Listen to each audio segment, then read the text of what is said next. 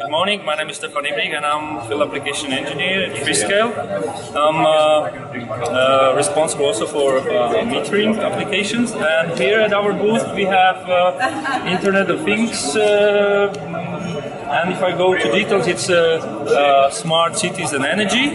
So it's quite a complex topic. So starting from from measuring the energy by our uh, it's it's a reference design based on our devices.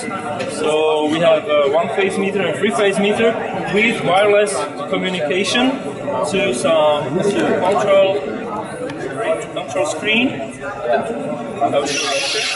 Then also the access points are made by our Layerscape platform so you can collect all these data and uh, and uh, send it to to utility. Uh, also, we have here some uh, demonstration of the uh, wireless communication, which is mostly used for uh, flow meter and gas meters. So it's these designs based on our Kinetis W family.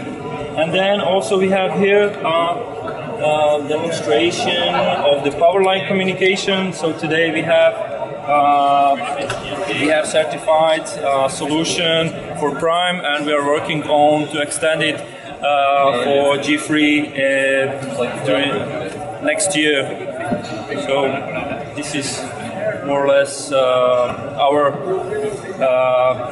our table showing the, the energy and, and, and, uh, and smart cities. Thank you very much.